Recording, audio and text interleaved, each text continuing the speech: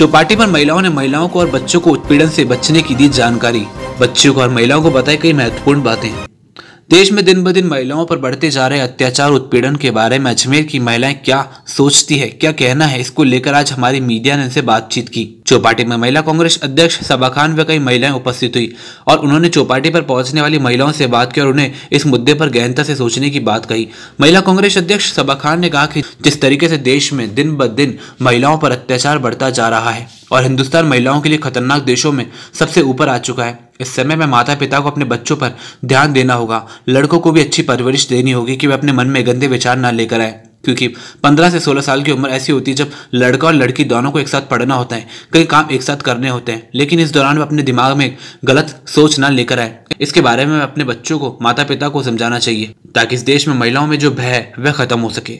Implement सही ढंग से नहीं हुआ, इसलिए नहीं सर इम्प्लीमेंट सही ढंग से नहीं हुआ है। इम्प्लीमेंट होना चाहिए और बहुत कड़ी तरीके से, अच्छे तरीके से होना चाहिए, तभी ये जो केस हैं बलात्कार के, वो कम होंगे। इसके अलावा मैं ये मानती हूँ कि पहले अपने आप को सुधारो। अगर आप अपने आप को सुधारते हो तो आप समाज को सुधारते हो। अपने आप को इस, अगर कोई गलत होता हुआ देख रहे हो तो उसको आगे जाके उसको ख़त्म करो कि नहीं, ये गलत हो रहा है, इसको सुधारो। उसके बाद आप समाज की तरफ़ उंगली उठाओ। हाँ, पहले अपने आप को पहले अपने आप को सुधारो। ऐसे नहीं कि कोई एक्सीडेंट हो रहा है कोई कांड हो रहा है। लोग सेल्फी वीडियो निकालना बंद वीडियो और सेल्फी से चक, चक्कर में आप जो बंदा मर रहा है उसको आप नहीं देख रहे। तो पहले आप अपने आप को सुधारो। वीडियो निकालने से तो अच्छा है पहले उसको अस्पताल पहुँचाए या उसकी सुरक्षा करो। आज के माहौल को देखते हुए हर इंसान के अंदर यह डर है कि काश हम कि आने वाले फ्यूचर में हमारी बेटी के साथ या हमारी बहन के साथ ये ना हो तो हर किसी में ये डर है। और मैं कहती हूँ कि इन फ्यूचर मतलब मेरे भी अगर बेटी होती है तो मुझे उसका देखना, उसका फ्यूचर देखना होगा कि आने वाले टाइम में उसके साथ कुछ घटना ना हो जाए।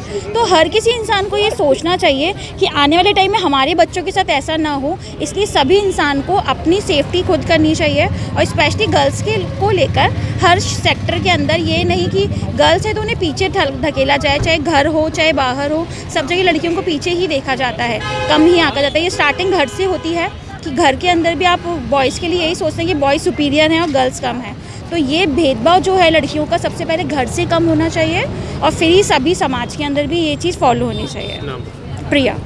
शहर में उठाने चाहिए जिससे कि ये जो अत्याचार है वो देखिए सोशल अवेयरनेस जिसे हम जा, सामाजिक जागरूकता कहते हैं ये हर इंसान के लिए आज की ज़रूरत बन गई है आवश्यकता बन गई है। आप ही देखिए हम लोग जितने भी बड़े हैं बड़े पदों पर हैं या हम एनजीओ चलाते हैं मैं उसकी डायरेक्टर हूँ। मैं पाँच या सात की गैदरिंग भी देखती हूँ महिलाओं की आदमियों की तो मैं उन बच्चों को बुलाने की कोशिश करती हूँ मैं समझाने की कोशिश करती हूँ। ख़ासतौर से बच्चियों को कि बेटा अपनी नज़र अपनी इतनी पारखी रखो कि तुम्हें कौन किस नज़र से देख रहा है कहाँ तुम्हें छूने की कोशिश कर रहा है।